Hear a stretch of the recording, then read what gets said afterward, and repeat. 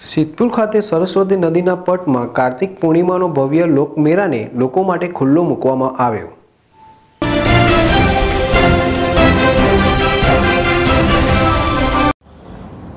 લોકવાયકા મુજબ કહેવાય છે કે કાર્તિક સુદ ચૌદસની રાત્રે પૃથ્વી પર ભારતમાં વહેતી ગંગા નદીના નીર અહીં ગુપ્ત રીતે આવે છે. અને આ સરસ્વતી નદીમાં આવેલ માધુ પવડિયાથી સ્વર્ગ માત્ર એક જ વેદ છેટું છે. અને વધુમાં પવિત્ર માતૃગયા તીર્થ સમાન બિંદુ સરોવરના પટાંગણમાં આવેલ કાર્તિક ભગવાનનું મંદિર આવેલ છે. તે પણ આ જ દિવસે કાર્તિક ભગવાનના દર્શન માટે પણ લોકોની કતારો જોવા મળે છે. વર્ષોથી ચાલી આવતો ભવ્ય લોકમેળામાં રાજસ્થાનના ઊંટ અને અલગ અલગ નસલના ઘોડાઓનું પણ આકર્ષણનું કેન્દ્ર બને છે. આજ રોજ મેળાનું ઉદ્ઘાટન જય નારાયણ વ્યાસ અને બળવંતસિંહ રાજપૂતના વરદ હસ્તે ખુલ્લો મુકાયો હતો અને બગી પર બેસી મેળાનું નિરીક્ષણ કર્યું હતું.